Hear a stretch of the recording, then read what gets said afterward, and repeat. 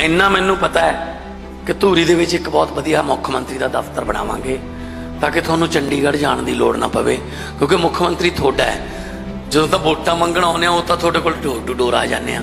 ਜਦੋਂ ਕੁਝ ਬਣ ਜਾਂਦੇ ਆ ਉਦੋਂ ਕਹਿੰਦੇ ਚੰਡੀਗੜ੍ਹ ਆ ਜਾਓ।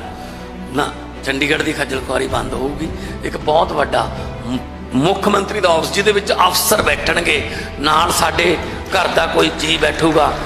ਤੇ ਉਹ ਇੱਥੇ ਹੀ ਤੁਹਾਡੇ ਅੱਧਿਆਂ ਤੋਂ ਵੱਧ ਕੰਮ ਹੋਣਗੇ।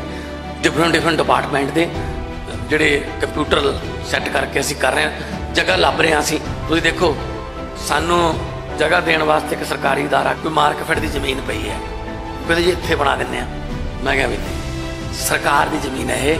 ਅਸੀਂ ਸਰਕਾਰੀ ਜ਼ਮੀਨ ਤੇ ਕੋਈ ਇਹੋ ਜਿਹਾ ਦਫ਼ਤਰ ਨਹੀਂ ਬਣਾਉਣਾ ਜਿਹਦੇ ਨਾਲ ਕੋਈ ਰਾਜਨੀਤਿਕ ਗਤੀਵਿਧੀ ਜੁੜੀ ਹੋਵੇ। ਅਸੀਂ ਆਪ ਲਵਾਂਗੇ, ਕਿਰਾਏ ਤੇ ਲਈਏ, ਜਿਵੇਂ ਮਰਜ਼ੀ ਲਈਏ।